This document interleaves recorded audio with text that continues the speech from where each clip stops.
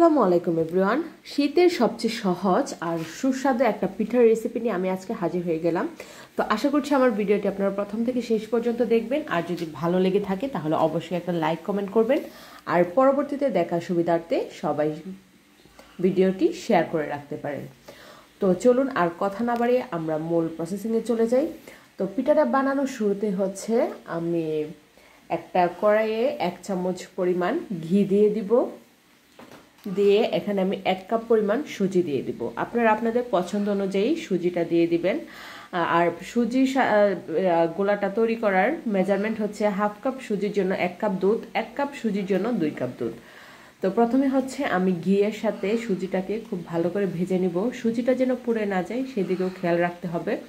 চুলার আঁচটা একদম কম রেখে আর এখন হচ্ছে আমি দুধ দিয়ে সুজির ব্যাটারটা তৈরি করে নিচ্ছি। খুব অল্প অল্প করে দুধ দিতে হবে, কারণ খুব বেশি দুধ দিয়ে একদম নরম করে ফেলা যাবে না। আমরা রুটি যেরকম বানাই, সেরকম একটা ডো তৈরি করতে হবে, একটা স্পেচুলার সাহায্যে খুব সুন্দর করে নেড়ে ছেড়ে একটা সফট একটা ডো তৈরি করতে হবে। যেন ভেতরে কোনো লামস না থাকে বা দলা পেকে না যায়, সেই জন্য কিন্তু অল্প অল্প দুধ দিয়ে ডোটা তৈরি করে নিতে হবে। আর যখন ডোটা করের গা থেকে চলে আস উঠে আসবে, তখনই হচ্ছে আমাদের গোলাটা তৈরি হয়ে যাবে। তো এখন হচ্ছে আমি দুধের শিরাটা তৈরি করে নেব। তাই জন্য প্রথমে হচ্ছে আমি একটু ক্যারামেল করে নেব। তো ক্যারামেল করার জন্য এখানে তিন, চার চামচ চিনি দিয়েছি। দিয়ে চিনিটাকে ক্যারামেল করে নেব। ক্যারামেলটা খুব বেশি বার্ন করা যাবে না। তো এখানে হচ্ছে আমি আগে থেকেই গরম করে, ঘন করে রাখা এক লিটার দুধ রেখেছি। সেই দুধটা অল্প অল্প করে দিয়ে দিব। দুধটা দেওয়ার পরে কিন্তু চিনির যে দান, এগুলো ছিল, ক্যারামেলটা ছিল, সেটা কিন্তু দলা পেকে যাবে, কিন্তু আস্তে আস্তে পরে সেই ক্যারামেলটাও গলে যাবে। তো এখন হচ্ছে আমি এখানে হাফ কাপের চেয়ে একটু বেশি পরিমাণ চিনি দিয়ে দিচ্ছি। মিষ্টির জন্য আপনারা, আপনাদের টেস্ট অনুযায়ী মিষ্টিটা দিয়ে দিবেন।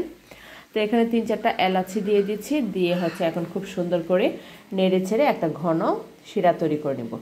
আর দু চার মিনিট একটু সময় দিব যেন সুজির ডোটা একটু ঠান্ডা হয়, তারপর হচ্ছে হাতে আর একটু ঘি লাগিয়ে তারপর হচ্ছে খুব সুন্দর করে একদম মেখে একটা সফট ডো তৈরি করে নিব।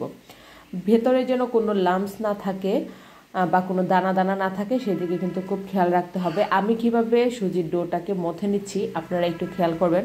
কারণ এটার ভিতরে যদি লামস থেকে থাকে বা কোনো ক্রেক থেকে থাকে, তাহলে কিন্তু দুধে দেওয়ার পরে কিন্তু পিঠাটা ভেঙে যাবে। অনেকেরই প্রশ্ন থাকে যে, আমি তো দুধে শিরাতে দেওয়ার পর বা বাঁচতে যাওয়ার পর পিঠাটা খুলে যায়। তো এটাই হচ্ছে একটা কারণ। পিঠাটা একদম এরকম সফট হতে হবে, চারদিক থেকে একদম স্মুথ হতে হবে। তাই জন্য যখন আমরা পিঠার শেপে দেবো, তখন আঙুলের সাহায্যে চেপে চেপে একদম কোনো রকম লামস থাকা যাবে না। দিয়ে আপনারা আপনাদের পছন্দ অনুযায়ী একটা ডিজাইন দিয়ে দিতে পারেন। দিয়ে হচ্ছে সবগুলি পিঠা আমি বানিয়ে নেব। তো এখন হচ্ছে পিঠাগুলিকে ভেজে নেব। একদম মিডিয়াম লো হিটে চুলাটাকে রেখে খুব সুন্দর একটা গোল্ডেন ব্রাউন কালার করে ভেজে নেব।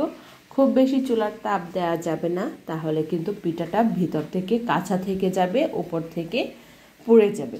আর এই পিঠাটা কিন্তু দুধের সেরাতে দেওয়ার পর শক্ত হয়ে যাবে। তো ভাজার ক্ষেত্রে একটু সাবধানতার সাথে করতে হবে।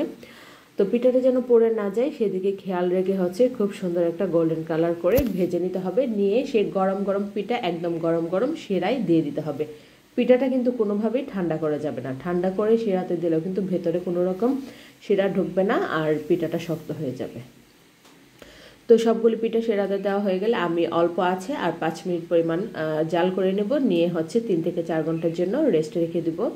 তাহলে কিন্তু পিঠাগুলি ফুলে একদম ডাবল হয়ে যাবে আর একদম স্পঞ্জ মিষ্টি যেরকম হয় এরকম তোলার মতো সফট হয়ে যাবে। আর খেতে তো মাসাল্লাহ অসাধারণ হয়ে থাকে।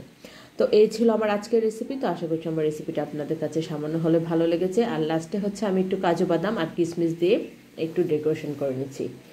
তো আবারও দেখা হবে নতুন কোনো ভিডিও নিয়ে। সে পর্যন্ত সবাই ভালো থাকবেন, সুস্থ থাকবেন। অবশ্যই ফাহিমাস ব্লগ বিডি এবং আমার ইউটিউব চ্যানেল ফাহিমাস রেসিপির পাশে থাকবেন। যারা এখন আমার পেজটাকে লাইক ফলো দেন নাই, তারা অবশ্যই একটা লাইক দিয়ে রাখবেন। আর আমার ইউটিউব চ্যানেল ফাহিমাস রেসিপি চ্যানেলটাকে সবাই সাবস্ক্রাইব করে থাকবেন। তো আবারও দেখা হবে নতুন কোনো ভিডিও নিয়ে। সে পর্যন্ত সবাই ভালো থাকেন, সুস্থ থাকেন, অবশ্যই পেজের সাথে থাকবেন। আল্লাহ হাফেজ।